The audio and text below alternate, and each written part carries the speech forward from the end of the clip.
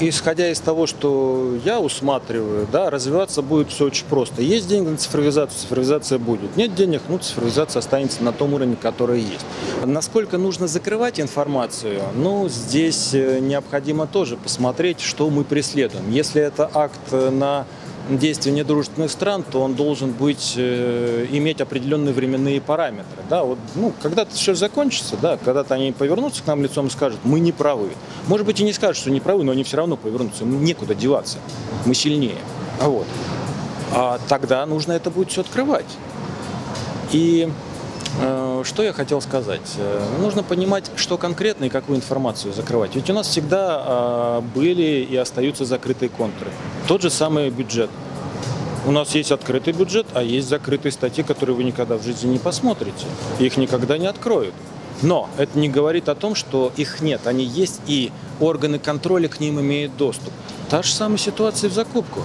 Да, есть закрытый контур, но, простите, у нас есть э, разные виды контролеров, которые осуществляют контроль и которые имеют доступ к этому. И э, все, что закрыто, оно все равно контролируется. Вопрос, что мы хотим добиться? Мне как-то спросили по поводу, вот как можно посмотреть на открытость цифровизации. Я говорю, ребят, откройте просто план-график закупок. Вы понимаете, пусть он открытый. Если есть какие-то враги, Пусть они просто туда зайдут, и они сами запутаются.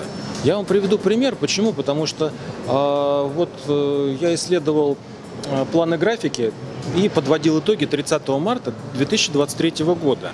А мне было интересно, как многие заказчики вносят изменения. У нас есть порядка шести оснований, чтобы внести изменения. Сейчас, кстати, а, очень, скажем так, такое мягкое мягкая норма, которая говорит о том, что внес изменения, и не надо ждать 10 дней, ты можешь на следующий день, в принципе, все это разместить и так далее после изменений.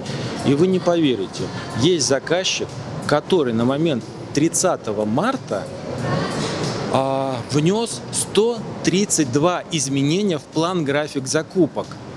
Ну, фактически это вот э, больше, наверное, одного изменения в день. Где-то там э, с понедельника по пятницу по одно, а в субботу он сразу пять изменений внес. И возникает вопрос, это все нарастающим этапом, и вот э, ну, информации очень много, и понять, что хочет и где, э, ну, достаточно сложно. К тому, что, с одной стороны, заказчик пользуется вот этой уловкой, он прячет множество. Вы понимаете, что такое план-график закупок? Это месседж, когда заказчик говорит, я хочу купить вот это, вот это, а хозяйствующий субъект должен спрогнозировать свою финансово-хозяйственную деятельность, взять кредиты, там, закупить оборудование, а, спрогнозировать отпуска и прочие-прочие моменты. Вот для этого нужна эта информация. Участник закупки сейчас не может этого сделать. Почему? Потому что заказчик ежедневно меняет план график. Там не уследишь за ним. Нужен специально обученный человек, который будет следить вот только за планом графиком и за его изменением. Поэтому вот в данном случае я считаю, что информацию закрывать не надо. Пусть все враги в плане графики закупок у нас стабильно запутаются.